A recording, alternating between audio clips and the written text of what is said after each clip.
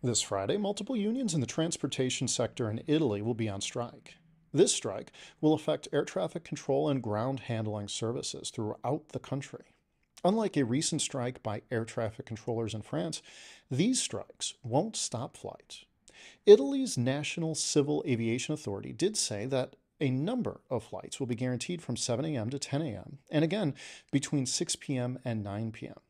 If you are traveling in Italy tomorrow, your travel advisor or airline should be informing you of any cancellations.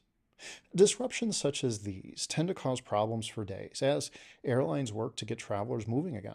Our advice for anyone traveling to or from Italy is to plan for delays and cancellations, at least through the weekend.